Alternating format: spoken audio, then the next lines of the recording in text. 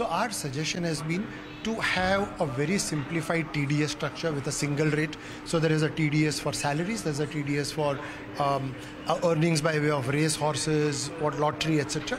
And balance should be a single rate rather than multiple rates, which forces the tax withholder to make choices. And same thing for TCS.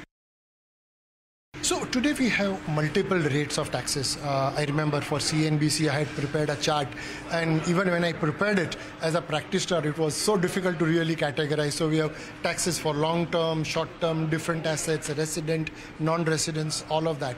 And the question really was: Is there a way in which one can rationalize number of? It can be done away totally, but can, for example, we have a common rate between residents, non-residents? Can we have uh, doing away with the multiple surcharges that exist? All of those. So we put quite a few things out there.